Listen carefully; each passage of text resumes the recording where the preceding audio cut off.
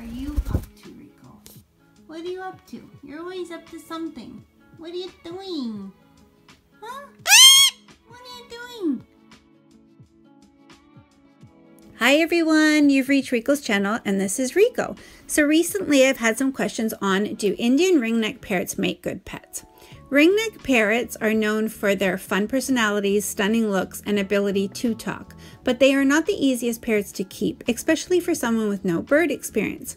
Here are some things that also come along with owning a ringneck parrot that may help you on making the decision if a ringneck parrot is the right fit for you.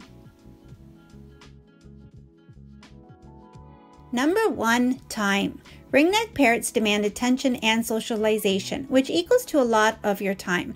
If your lifestyle is very hectic and you work a job that requires a lot of your time, perhaps a ringneck parrot may not be the right fit for you. They do not do well left alone in a cage over long periods of time. This may lead to screaming, becoming aggressive, or worse, start to self mutilate. Number two, bluffing stages. Ringneck parrots are known to go through what's called the bluffing stages more so in comparison to other parrots. This usually happens anywhere between the ages of 4 months and 1 years old and can happen overnight. During this time, a ringneck parrot will test you with biting, lunging, and may become extremely difficult to handle, especially for a new bird owner with no experience. Although this phase does pass, many are given up for adoption because owners are not prepared for the sudden change and behavior in their parrots. Number three, noise. All birds make noise, whether it's whistling, talking, or screaming. It's just how they communicate with us. But ringneck parrots can get loud, especially with their high pitched calls that may not be suitable to certain living arrangements. Number four, diet. Ringneck parrots require a well balanced diet that consists of vegetables, pellets, and small amounts of fruits daily, as well as seeds or nuts for treats with fresh water. Being able to provide these foods daily is very important for a ringneck parrot's overall health. Number five, hormonal and molting. Ringneck parrots will become hormonal at least once a year before molting season around springtime and go through a molt shortly after. During these times, your parrot can become very hormonal and aggressive. These times can be difficult to deal with. Number six, destructive. Ringneck parrots love to chew just about everything and will get themselves into almost anything. Therefore, you will need to think ahead and bird-proof your home.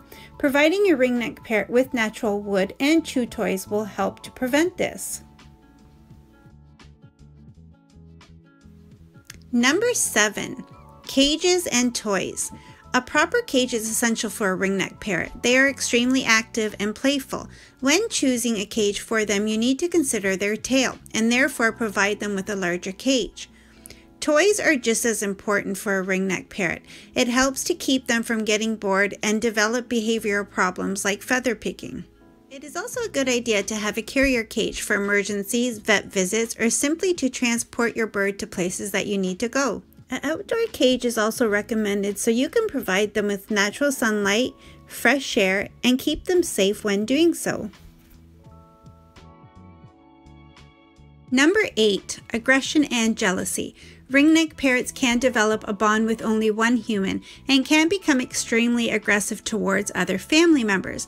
Having other family members and friends interact and handle them from young can help prevent them from overbonding with just one person. Number nine, financially. With owning a ringneck parrot comes the responsibilities of being able to care for your bird. Anything from food, toys, cage, vet care can all add up, especially in an emergency situation where your parrot may need special care. Number 10, messy. Birds in general are messy. Cleaning up after them is a constant chore, and ringneck parrots love to create a mess. Number 11, bites. A ringneck parrot's bite can be extremely painful, and chances are it will happen on occasion. But it's not always out of aggression. Sometimes it's simply from playing or being overexcited to warning us that they dislike something we are doing. Learning to understand a parrot's body language can help to avoid being bitten altogether. Number 12, cuddly. Some ringneck parrots can be very cuddly, if you're lucky, but generally they are more playful and will only cuddle for a bit. Number 13, sleep. A ringneck parrot will need between 10 to 12 hours of undisturbed sleep in a quiet, dark room. Covering the cage with a blanket will also allow your parrot to have a better good night's rest. Number 14, talking. Both female and male ringneck parrots love to mimic noises and do have the ability to talk, but it is not always guaranteed that they will. So to sum things up, Indian ringneck parrot can make a wonderful pet for the right person.